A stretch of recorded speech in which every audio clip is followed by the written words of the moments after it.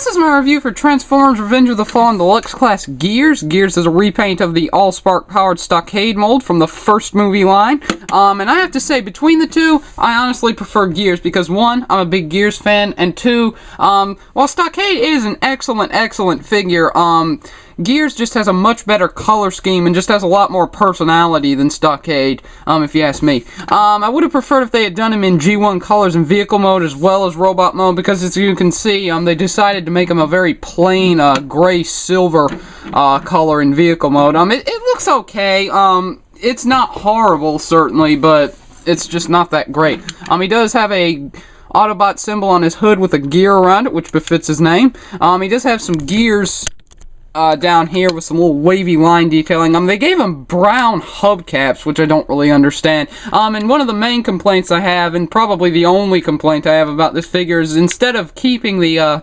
translucent blue uh, windows that uh, Stockade had, they decided to go ahead and give him purple uh, translucent windshields, which looks really, really strange in robot mode. In vehicle mode, it doesn't look too, too bad, but in robot mode, it just looks really blah.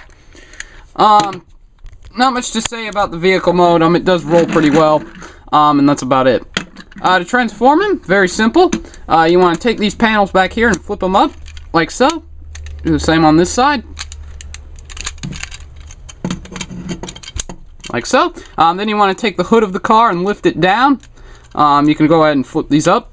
Uh, then you want to split the hood, like so. Uh, lift this piece down. Flip out his heel spur, bring his foot down, Again, bring this piece down. Bring down his heel spur. Which doesn't want to seem to come out.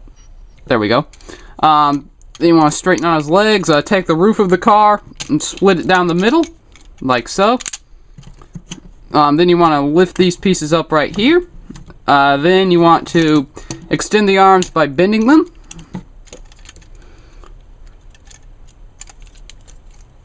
And then to get his head out, you want to lift this piece up and then push it all the way back.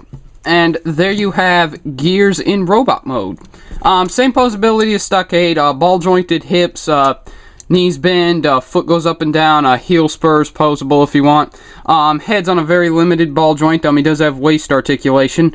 Uh, arms go 360, they go in and out. Um, bends at the elbow, uh, bends a little bit backward at the elbow if you want. Uh, these fingers are articulated. He does have the same punching gimmick that uh, Stockade had. Um, and that's about it. Um, but as you can see, just a really, really nice color scheme. Um, really uh, a great Gears homage. Um, I'm glad that they decided to pick this mold. Um, if they weren't going to make a new Gears mold, I would have picked this mold um, to make an homage to, homage to Gears.